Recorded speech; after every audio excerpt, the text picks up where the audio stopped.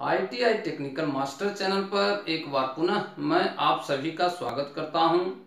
आज के क्लास में हम लोग कूलिंग सिस्टम की चर्चा करेंगे।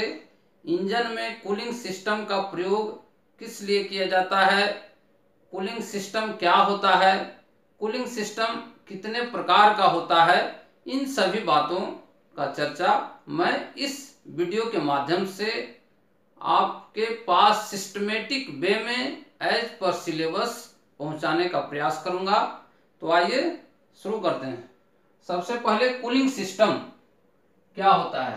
कूलिंग सिस्टम कहने का तात्पर्य यहाँ पे इंजन के अंदर, यानी कि आईसीई इंटरनल कंबशन इंजन के अंदर कितने प्रकार का कूलिंग सिस्टम प्रयोग किया जाता है? मॉडर्न इंजनों में या पुराने इंजनों में? दोनों भी प्रकार के इंजनों में आज तक जितने भी प्रकार के कूलिंग सिस्टम हैं, उन सभी के बारे में हम लोग बारी बारी से चर्चा करेंगे। सबसे पहले what is cooling system first question है what is cooling system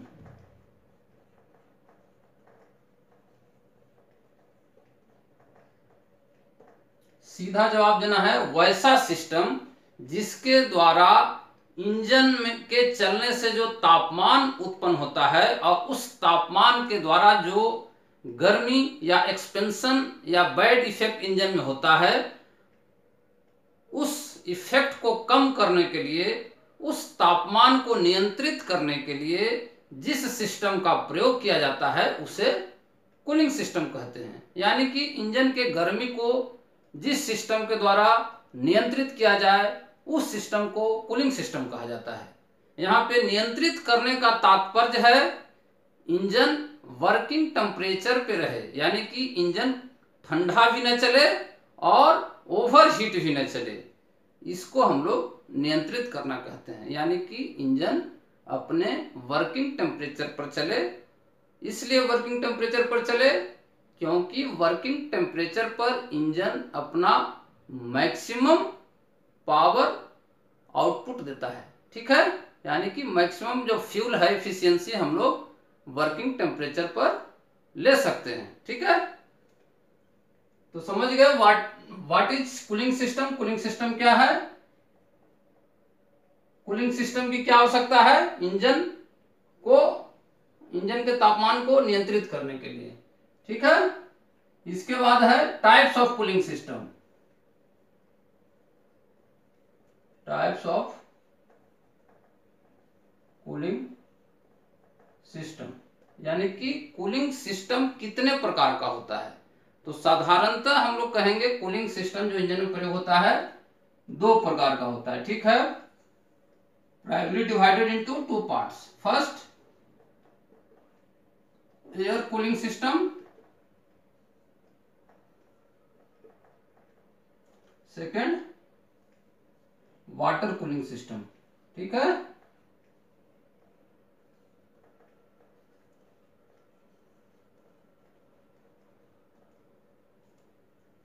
air cooling system किसे कहा जाता है?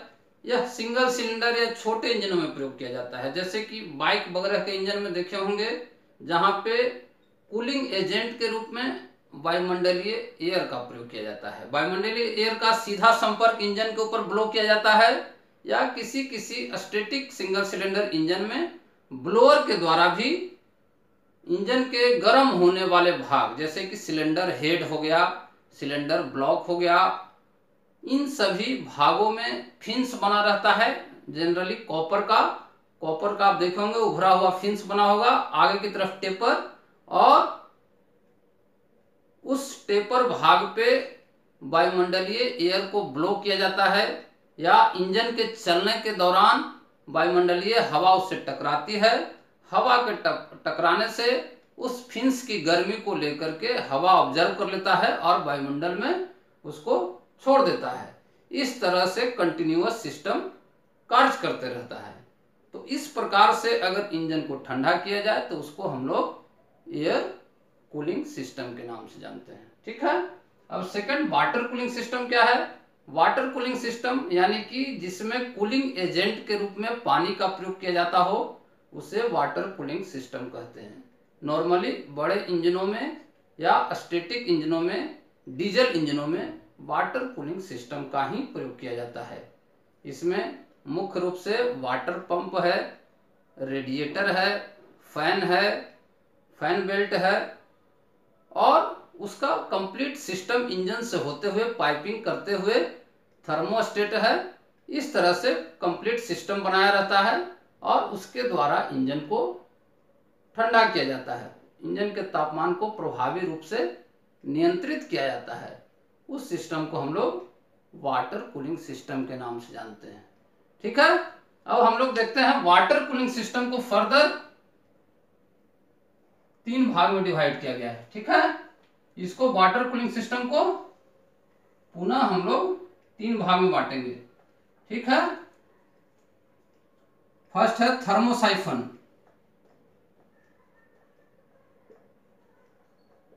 थर्मोसाइफन सिस्टम सेकंड ये हो गया बी से impeller impeller thermosiphon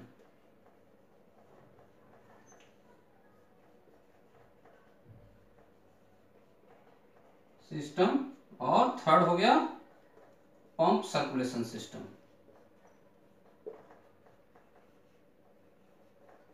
Pump circulation system, ठीक है? याद रखिएगा, वाटर कूलिंग सिस्टम पुनः तीन भागों में बांटा गया। Thermosiphon system impeller thermosiphon system और पंप सर्कुलेशन सिस्टम, ठीक है? पंप सर्कुलेशन सिस्टम को पुनः हम लोग दो भाग में बांटते हैं। किसको?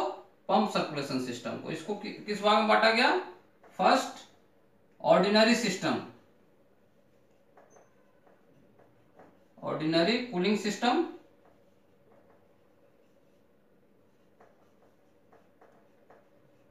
और second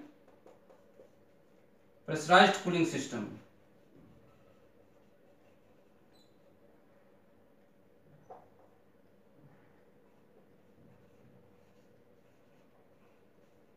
pressurised cooling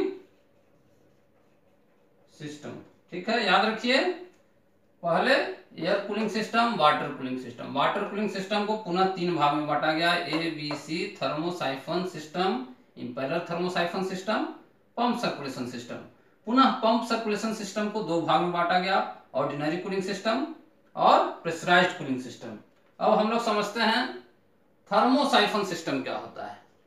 thermosiphon system thermosiphon system कहने का तात्पर्य है, यह ओल्ड एज में, पुराने जमाने के इंजनों में जब इंजन लो स्पीड होते थे, कम आरपीएम पे चलते थे तो बड़ा सा आपका रेडिएटर का यूज़ किया जाता था और रेडिएटर की हाइट वस्तुतः इंजन के हाइट से अधिक रहती थी, ज़्यादा वाटर कंटेन रहता था, पानी उसमें डालने के बाद इंजन के सिलेंडर हेड सिलेंडर ब्लॉक से उसके हाइट से ऊपर तक पानी भरा हुआ होता है। ठीक है? इंजन जब चलता है तो चलने से जब गर्मी होती है, गर्मी में संवहन विधि के द्वारा, यानी कि गर्म पानी नीचे से ऊपर की तरफ़ चला जाता है हल्का होने के कारण, ठीक उसी प्रकार स्वतः ही संवहन विधि के द्वारा कंडक्शन मेथड के माध्यम से हीट गर्म पानी नीचे से ऊपर चला जाता हो और इस तरह से सर्कुलेट होकर के इंजन को जब ठंडा किया जाता है, यानी कि सिर्फ़ और सिर्फ़ रेडिएटर का प्रयोग किया जाए, उस सिस्टम को आप थर्मोसाइफन सिस्टम के नाम से जानते हैं। ठीक है? इंपेलर थर्मोसाइफन सिस्टम सेकंड प्रकार हुआ impeller thermosiphon system impeller thermosiphon system में थर्मोसाइफन सिस्टम के तरह ही रेडिएटर का प्रयोग किया जाता है, लेकिन उसके साथ एक फ़ैन का प्रयोग, ताकि हवा को रेडिएटर के माध्यम से खींच सके। इस विधि से पानी जल्दी ठंडा हो जाता है और उस पानी से पुनः इंजन के अंदर उसको सर्कुलेट करके इंजन को ठंडा किया जा सके। यानी कि एक पंखा जब जुड़ गया, पंखा और रेडिएटर तब उसको हम लोग इंपेलर थर्मोसाइफन सिस्टम के नाम से जानते हैं। और थर्ड वन हो गया pump circulation system pump circulation system का प्रयोग आजकल के सभी मॉडर्न इंजनों में किया जाता है। ठीक है? अब पंप सर्कुलेशन सिस्टम भी दो तरह का होता है। पंप सर्कुलेशन सिस्टम में हो गया ऑर्डिनरी सिस्टम यानी कि एक वाटर पंप रखेंगे। वाटर पंप को फ़ैन बेल्ट से देखेंगे जनरली ड्राइव देते हुए, और रेडिएटर के लोअर टैंक से पानी को खींच करके इंजन में सभी भाग, cylinder head, cylinder block cylinder block, cylinder head से होते हुए पुनः फिर आपका थर्मोस्टेट यूनिट में जाएगा, हाउसिंग में जाएगा और वहाँ से पुनः रेडिएटर के अपर टैंक में चला जाएगा। इस तरह से एक सिस्टम बनता है। इसका वीडियो एक लाइव कूलिंग सिस्टम के बारे में मैंने वीडियो पहले भी पूर्व में बनाया हुआ है। आप वहाँ पे देख सकते हैं, समझ सकते हैं रेडिएटर क्या होता है थर्मोस्टेट क्या होता है, और इंजन में पानी कैसे सर्कुलेट करता है, उसके बारे में डिटेल से बताया गया है। और आगे भी जब प्रैक्टिकल के माध्यम से संभव होगा, मैं बताऊँगा। ठीक है? फ़िलहाल इतना आप याद रखिए कि जिसमें प्रेशर कैप का प्रयोग होता हो, यानी कि सिस्टम के अंदर प्रेशर के साथ कूलिंग किया जाता हो, यानी कि कूलिंग एलिमेंट जो वाटर है, सिस्टम में प्रेशर के साथ रहता हो। जनरली ढाई के जी पर सेंटीमीटर स्क्वायर का प्रेशर सिस्टम में जनरेट किया जाता है पंप के माध्यम से, और रिजर्वायर टैंक का प्रयोग किया जाता है। आजकल जितने भी हैं, इंजन, उसमें रिजर्वायर टैंक या एक्सपेंशन टैंक का प्रयोग किया जाता हो, रेडिएटर के साथ। वैसे इंजनों को हम लोग